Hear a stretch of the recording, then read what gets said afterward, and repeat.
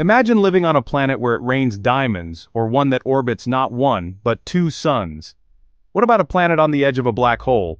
Would you rather live on a planet where it rains actual diamonds? Sounds like a dream. Until you realize, those diamonds fall with the force of speeding bullets. Scientists believe that on Neptune and Uranus, the intense pressure and heat could cause carbon to form diamonds, which might rain down into the planet's interiors. Or a planet orbiting two suns. Say goodbye tonight, it's daylight 24-7. But don't forget, temperatures could melt metal. Kepler 16b is an exoplanet orbits two stars and is often called a circumbinary planet. Maybe you'd prefer a planet on the edge of a black hole?